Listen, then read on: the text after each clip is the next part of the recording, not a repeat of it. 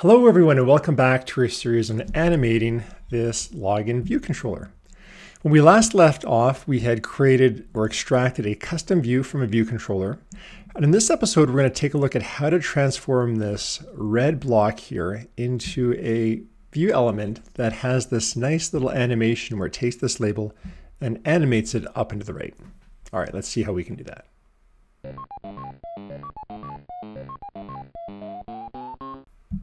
All right, I'm just going to stop the simulator. Let's go over to our form field view here and see what we can do to, to style this up so it starts to look like something more like this. And to begin with, let's start by doing a couple things to this view. One is let's start by rounding these corners here. We'll give these a rounded edge. Secondly, let's change the background of the view to be gray. And then thirdly, let's add this label here and give it a title of email. Okay, so how are we going to do that? I'm just going to move this over here so we can see what we're doing. Well, let's start by let's start by defining that label at the top. So let's create a new label here. I'm just going to call this uh, UI label. And let's go ahead and get that into our view. So let's start by styling it. Okay, what do we need to do here? So right now we've got our background, this, this kind of a red color. We'll keep it red for now just because that'll help us figure out you know, what our sizing is. But really, let's start by doing a couple things. One, let's set the background color of the view itself. Okay, maybe let's not go with red. Let's instead go with a nice shade of gray. And in this case, we're going to use a nice shade of gray called System Gray 5. So let's just replace that. And let's also give these a nice rounded edge. And the way we can do that in our views is it's actually the layer underneath. This is the core animation layer that sits underneath every view. In there, there's something called a corner radius, which we can set. And by giving this a value, it's going to round that corner for us by whatever radius we specify. And I just happen to have played with this. We're going to give it a corner radius of 60 divided by 4. And I'll explain later why we chose 60. 60 is actually going to be the height of our element. But I've just picked 4 here, and that's going to round these edges here. So if we run this now, let's just take a look and see what that looks like behind the scenes. So there we can see our view now is transformed. We've got some rounded corners here, a gray background. That is a great start. Next, let's see if we can't get that label in there. And let's continue working in our style section here because we're still styling elements. And our label can basically function like this. We'll get it set up for auto layout. We'll give its text a background color of system gray, and we'll also set the text of it to be email. So that's going to style our label for us. The next thing we need to do here is lay it out. So what we would like to do when we lay out this label is basically have email sit in the middle of our view. And I'm just going to pin it off to the edge here with a spacing of about 16 using that system multiplier we talked about. All right, so how do we do that? Let's start by adding it to our subview. So basically, because we're in a view, we can now just go add subview and add our label right in there. That's one of the nice things about working in a view, not in a view controller. You have more direct access to the methods that you want to call on it. And then basically we're going to do some layout. I'm just going to drop in that constraint snippet that I had before. And let's start by just laying out the label in the center. So I'm just going to mark this up by showing where I'm going to do my label workout. Let's go label. I want to put this in the center of the Y. So I want this to basically sit in the center Y of my view. So I'm going to go center Y dot constraint is equal to the center Y of our view. That will put it in the middle. And then I want it to come right off that left or leading edge a bit. So I'm going to go uh, label dot leading, whoops, leading anchor constraint is going to be equal to the system spacing after our views leading anchor with a multiplier of 2. Let's just run that now and see what that looks like. And that should give us a label just off the edge here of 2. Okay, not bad. Now let's see if we can't fix this size so it looks like it's something more reasonable, something along the sides of this. And we can do that in our view by basically going back to that property we looked at earlier, the intrinsic content size. So right now it's this property that we're overriding here, which is giving it this 200 by 200 size. Let's see if we can actually change that. Let's give it a height of 60 that I just know from empirically playing with this. And if we don't really know what our width is, because we want our width to be defined by the pinning of how we do the auto layout. So in this case, I don't really want to specify this. I could. Intrinsic content size is, is a suggestion. It's not a required or hard auto layout uh, priority 1000 requirement, meaning these don't actually have to be adhered to. They're just recommendations. But if I want to be clear and communicate that I don't know what this width is, I can replace this with a no intrinsic metric on the UI view.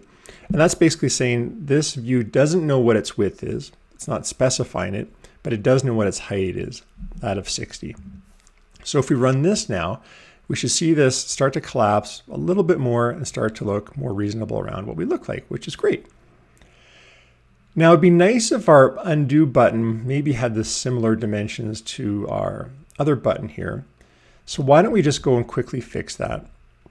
Let's add two constraints to our undo button. And this one does live back in our view controller. So let's go back to our view controller here. And I'm just going to add two more constraints down here for the undo button. One is we're going to specify undo button height.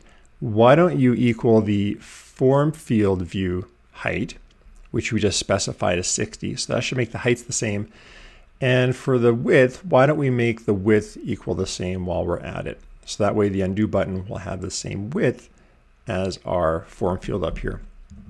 And if we run that now, we should get something that looks ah, kind of more comparable. That's nice. You'll notice the difference in rounding of edges because this is a iPod Touch 7th generation, which is going to be a little bit narrower than the iPhone 8. Um, actually, no, I take that back. I can round these buttons.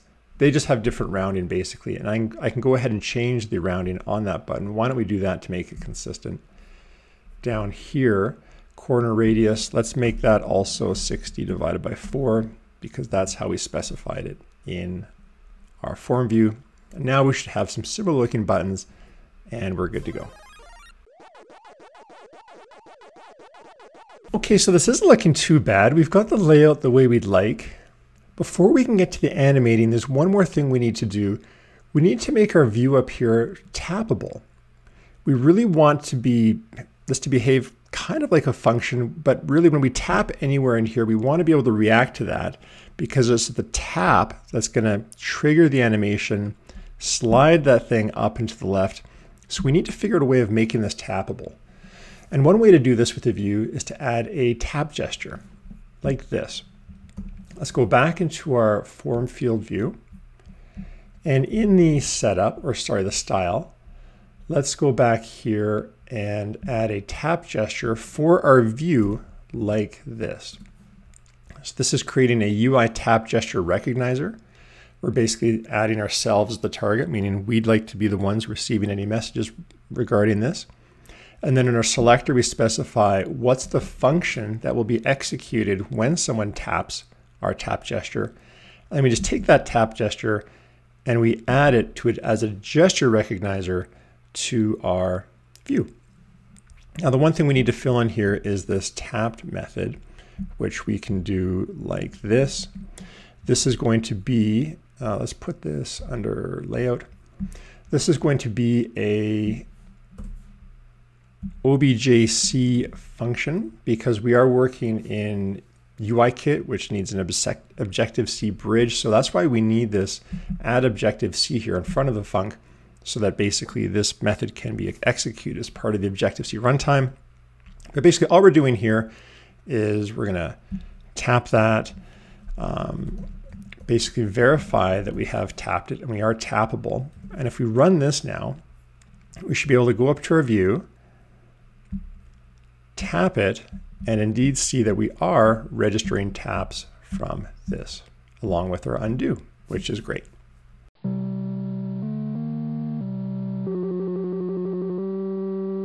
Okay, so now we finally get to the fun part. Now we finally get to add the animation. Let's see what that looks like.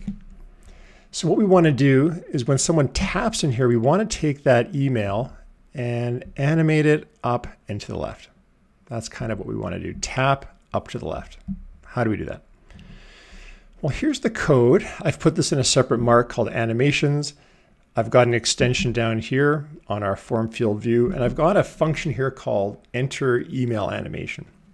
And what this is really doing, we want to eventually take someone's email address in, but this is kind of how animating UIKit views work, is to use this thing called a UI property animator, running property animator. What this is, is this takes whatever you pass in as a block here and runs it as part of an animation loop. You can specify things like duration. You could delay it for a couple seconds if you want. There's a whole bunch of options you can specify with regards to timing curves and easing in and things like that. I've just chose to keep this really as simple as possible for now. And what we're going to do when we animate in here, when we tap this, we want to set the background to be white. We want to change the text color of our email here to be green. Note also we are going to specify a border. See how the border changes here? Now we don't have a border, but when we tap, we want that border to be 1. And we're also going to make that border color system green too, just to make it all consistent. So that's just doing the, the styling. The actual animation happens down here. It's a two-step process. First, we take the, we define what's called a transform, and we basically say how we'd like to translate something according to the grid system that we've got here. So the origin is always zero, zero in the upper corner here. It's increasing, sorry, increasing X this way, increasing Y this way. So to go up to the left, we need to go minus eight, and I've just picked minus 24 empirically because I've run this many times iteratively. I know that's about where I want it to go. That's the transpose. Then the scaling, that's what's going to take this email and shrink it down 0.7 or 30% smaller. And it's really this line here, which was really key. Taking the transpose and then concatenating it to the scale is what gives us the effect we want. I just had to play with this a bit and that's just kind of how it works. So basically by doing this line here, we're going to combine those animations and bring them up and to the left. And that's kind of it. It's it's almost a three-liner. I know it's kind of anticlimactic, but that's all there is to really bringing this up and to the left. If we had some more work we wanted to do after the animation, we could put that in the completion block here. We're passed in the position. But that's basically it. So with this method now, when someone taps, instead of printing tapped, I'm going to go enter email animation. And if we run this now, that should indeed bring our email up and to the left. Great. Now undo isn't working yet because when I'm debugging this, it's really handy to undo and view these animations again. So let's go ahead and add some undo functionality so we can reset this back to how it was before. Okay, so when it comes to undoing, what we really want to do is undo this animation that we did to get the label to the upper right. So to do the exact opposite, we can create a function called undo. And this is a slightly different form of UI property animator. It does the same thing, but instead of executing the property animator immediately, you can also define them as discrete animations with different timings and everything, and then chain them together after. We're not going to do that here, but I just wanted you to see this different way of instantiating and executing. So here I'm going to create a property view animator I'm going to make the duration uh, 0.1, the same as what we had up there. Linear curve. And here's some stuff that we're going to reset. So we're going to put the background back to system gray 5. We're going to put the text back to system gray, get rid of the border width, set the background color. We're going to clear that out. And this is the key line here. Self-label transform identity. This is a special core graphics representation of what this view actually looks like mathematically reset to its original state. So you want to use identity whenever you want to get back to your, your purest form of where you began. So this effectively resets it for us. This is a property on CGA affine transform. So by doing this now, we've got this function called undo.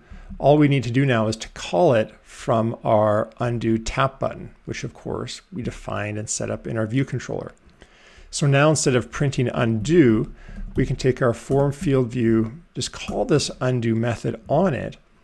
And if we run it now, we should be able to animate up and to the left, but also undo it by tapping and bringing it back to the lower right.